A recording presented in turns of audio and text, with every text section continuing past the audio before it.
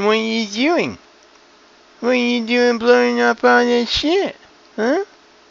What are you doing with that prototype? Who the fuck would let you have that thing, huh? You, you think you're somebody special? Huh? You like to waste a bunch of money? A bunch of money? Huh? What are you doing? What are you doing with that? Why would you destroy it, huh? I think, I think it's pretty fucking retarded. I think it's fake. I think you're really good with, with CGI maybe, you know? I, I, I think it looks pretty stupid. I don't know why anyone would do that. I don't know why anyone would even watch this. Obviously, it's pretty fucking fake, huh?